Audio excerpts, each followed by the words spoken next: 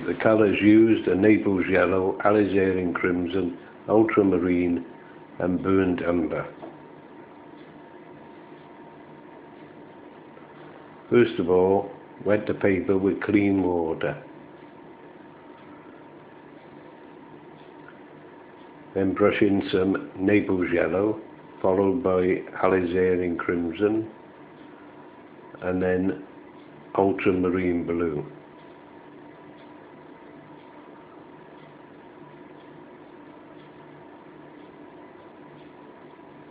There's a winter scene to try and make it look a real cold looking scene.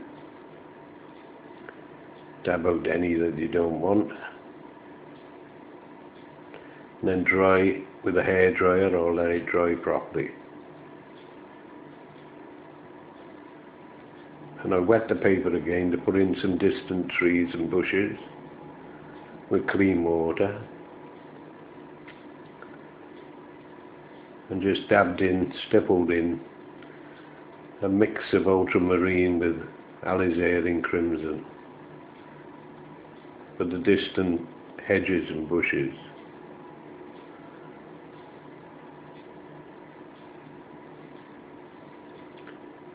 Very strong the paint but I wanted to make it look an evening dull sort of picture and snowy.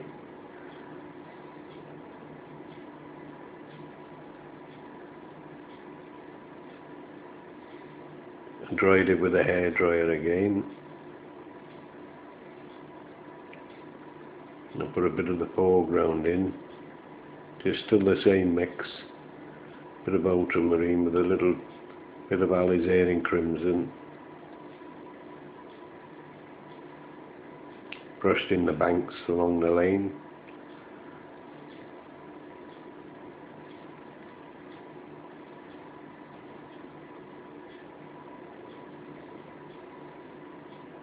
Bit of burned umber and then that's what I call a little scrubbing brush. If you wet it and just brush it back over and highlight some of the branches.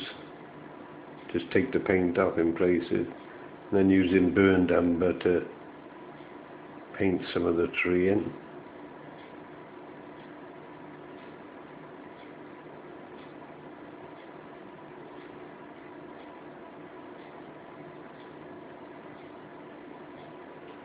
take your time with that.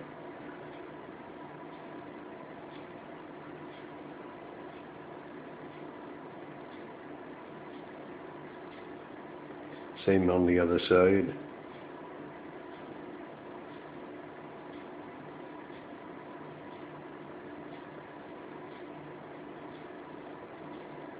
Could make a big, really tree, a big sized tree there that stood stood out really strong on the left hand side. On the right hand side, and put a steeple of a church.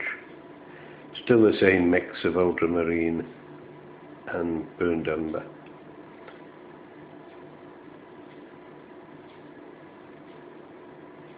Alizarin crimson.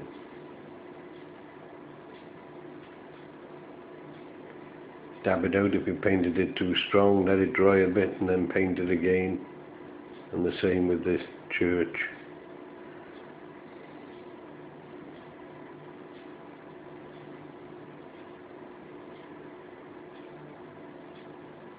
Till you get it how you want it.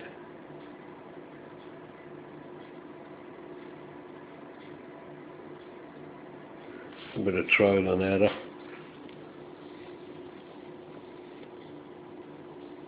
And keep brushing it over and dabbing it out and mixing the three colours together until you get it how you want it.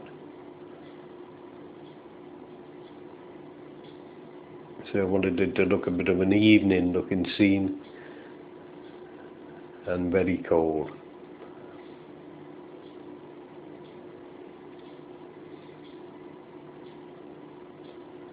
Just stipple in some dead branches and leaves.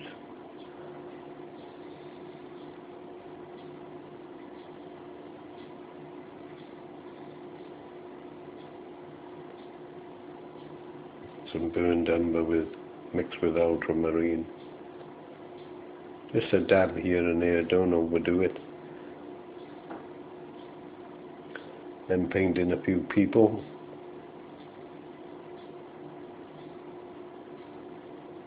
Give it a bit of life.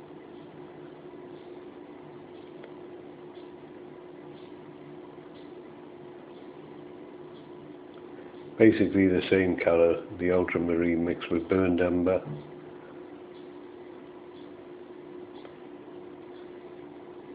Just make their shoulders a bit wider and as you go down make it narrower for their body and their legs. You can put the one leg longer than the other and make it look as though they're walking.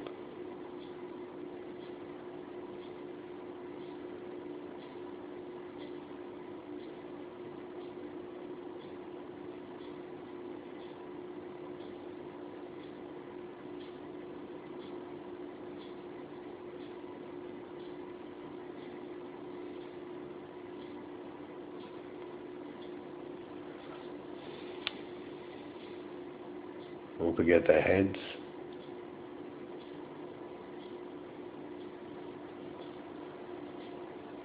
And the shadow.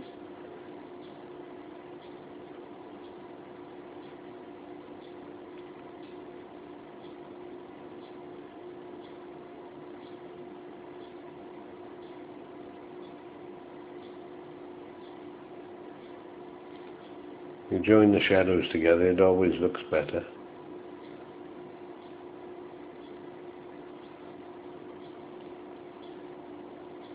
Also put a little dog in.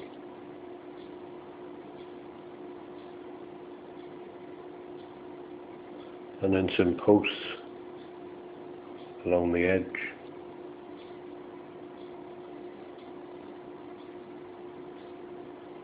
Basically fiddling about with some burned umber, putting a bit of detail in. A telegraph pole further on.